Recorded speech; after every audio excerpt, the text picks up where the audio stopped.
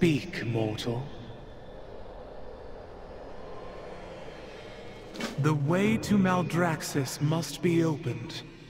Gather Cardolen and see it done. At once, honored voice.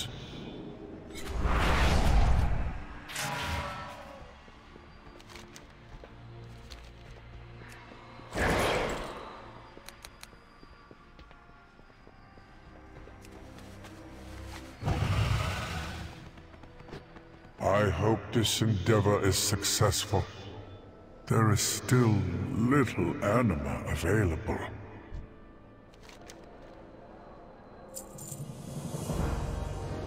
Trust the purpose.